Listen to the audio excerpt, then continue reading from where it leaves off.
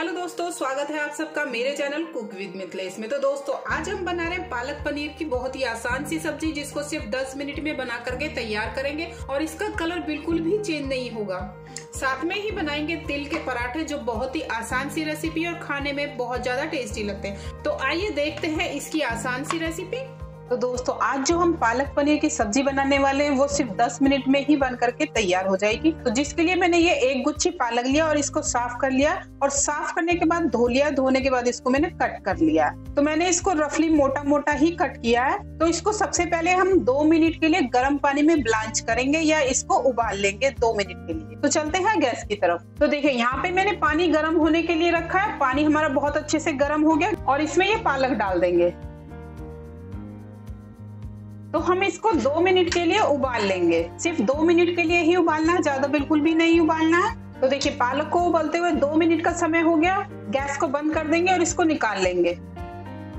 और तुरंत ही इसको ठंडे पानी में डाल देंगे। तो देखिए, हमने इसको ठंडे पानी में डाल दिया। इससे इसका कलर चेंज नहीं होगा, इसका कलर एकदम ग्रीन ही रहेगा। तो इसको दो से तीन मिनट के लिए ठंडा होने देते हैं। इतने हम एक मसाला तैयार करते हैं। तो गैस पे एक कढ़ाई रखेंगे। तो कढ़ाई में डालेंगे सरसों का तेल। तो मैंने इसमें दो टेबल स्पून सरसों का तेल डाला है। मैं इसको सरसों के तेल में बनाने वाली हूँ। आप इसको बटर में या देसी घी में किसी में भी बना सकते हैं। तो तेल हमारा गर्म हो जाए तो इसमें डालेंगे जीरा। जीरे को अच्छे से चटकने देंगे। तो देखिए, जीरा हमारा चटकने लगे तो इसमें डालेंगे कुटा हुआ लहसन या बारीक कटा हुआ लहसन, अदरक। दोनों चीज़ों को एक से दो मिनट के लिए भून लेंगे पहले। तो लहसन हमारा अच्छे से भून जाए तो इसमें डालेंगे बारीक कटा हुआ प्याज। और थोड़ी सी डालेंगे हरी मिर्ची। थोड़ी सी हरी मिर्ची हमने बचा ली है। ये जब हम पालक का पेस्ट बनाएँगे, उसके साथ डालेंगे। तो प्याज को हमें ब्राउन कर लेना है। अब इतने प्याज हमारी ब्राउन होती है, इतने हम पालक का एक पेस्ट बना के तैयार करते हैं। तो देखिए, पालक हमारा ठंडा हो गया इसका हम एक पेस्ट बना लेंगे। इसका पानी निकाल देंगे। तो इसमें डालेंगे हरी मिर्ची। और एक इसका पेस्ट बना लेंगे। तो देखिए पेस्ट हमारा बन करके तैयार हो गया। तो देखिए, इसका कलर बिल्कुल भी चेंज नहीं हुआ बिल्कुल हरे कलर में ही है ये। तो अब चलते हम गैस की तरफ़। तो देखिए, प्याज हमारी ब्राउन हो गई है। इन्हें हमें बिल्कुल भी डार्क ब्राउन नहीं करना है, सिर्फ़ गोल्डन ब्राउन ही करना है। अगर हम डार्क ब्राउन करेंगे तो ग्रेवी का कलर चेंज हो जाएगा।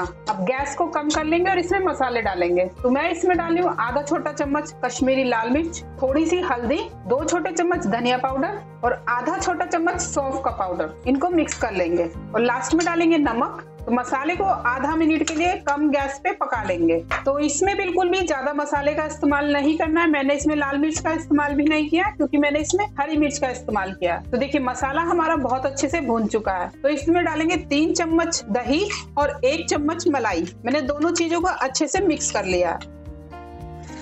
गैस को कम ही रखेंगे और इसको दो से तीन मिनट के लिए चलाते रहेंगे। तो देखिए, मैंने इसमें टमाटर का इस्तेमाल नहीं किया है, क्योंकि टमाटर डालने से ग्रेवी का कलर चेंज हो जाता है, जिससे पालक पनीर का कलर भी चेंज हो जाता है। तो मैंने इसलिए इसमें दही का इस्तेमाल किया। आप चाहे तो इसमें टमाटर का इस्तेमाल कर सकते हैं। तो इसको दो से तीन मिनट के लिए मीडियम गैस पे चलाते हुए पका लेंगे। तो देखिए, मसाला हमारा बहुत अच्छे से पक चुका है मसाले ने तेल छोड़ दिया है। तो इसमें डालेंगे हम ये पालक वाला पेस्ट। इसको अच्छे से मिक्स कर लेंगे। तो देखिए, जार में जो पालक का पेस्ट लगा हुआ था, इसमें हम आधा कप पानी डालेंगे और इसको निकाल के कढ़ाई में डाल देंगे। इसको दो मिनट के लिए ढक करके पका लेंगे। तो देखिए, पालक को पकते हुए दो मिनट का समय हो गया। इसमें डालेंगे 250 ग्राम पनीर। पनीर डालने के बाद दो से तीन मिनट के लिए और पकाएँगे, ज़्यादा बिल्कुल नहीं पकाएँगे, नहीं तो पनीर हमारा टाइट हो जाएगा। अगर आपके पास एक से दो दिन पुराना पनीर हो तो आप उसको सॉफ्ट करने के लिए हल्के गुनगुने पानी में नमक डाल के पाँच मिनट के लिए रख दें तो आपका जो पनीर है बिल्कुल सॉफ्ट हो जाएगा। तो इसे दो से तीन मिनट के लिए हम और पका लेंगे। तो दो से तीन मिनट में ही हमारी पालक पनीर की सब्ज़ी बन करके तैयार हो जाएगी। तो देखिए, सब्ज़ी को पकते हुए दो मिनट का समय हो गया तो पालक पनीर हमारा बन करके तैयार हो गया। गैस को बंद कर देंगे और इसको दो मिनट के लिए ठंडा होने देंगे। अब इसके साथ हम एक पराठा तैयार करेंगे। तो देखिए, गैस पे एक तवा रखेंगे और तवे को गर्म होने देंगे। इतने हम एक पराठा तैयार करेंगे। तो देखिए, पराठा बनाने के लिए मैंने नॉर्मल गेहूँ का आटा ही लिया है और बिल्कुल सिंपल तरीके से गुता हुआ है। इसको सिर्फ़ हमने पानी और नमक के साथ ही गुता हुआ है। इसको हम बेल लेंगे।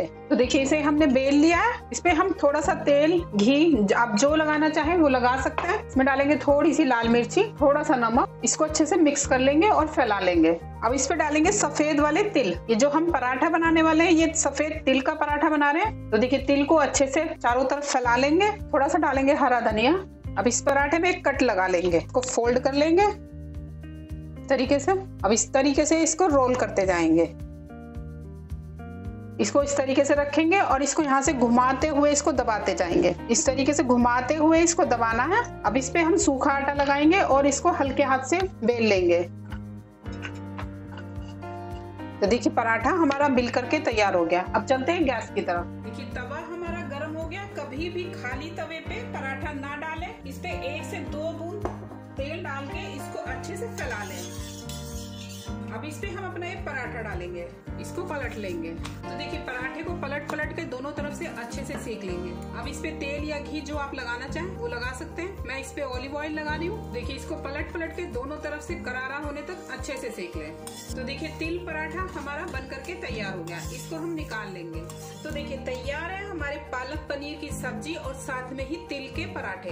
देखिए, पालक पनीर का कलर बिल्कुल भी चेंज नहीं हुआ है और इसके साथ मैंने बनाए हैं तिल के पराठे, जो खाने में बहुत टेस्टी लगते हैं। आप इनको अचार के साथ या दही के साथ कैसे भी खा सकते हैं, सबके साथ ये बहुत टेस्टी लगते हैं। तो रेसिपी अगर पसंद आए तो ट्राई कीजिएगा। कमेंट बॉक्स में ज़रूर बताइए आपको ये रेसिपी कैसी लगी।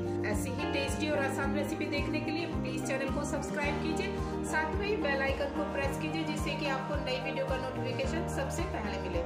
तो दोस्तों, ऐसी ही टेस्टी और आसान रेसिपी के साथ फिर मुलाकात होगी। तब तक के लिए थैंक यू एंड बाय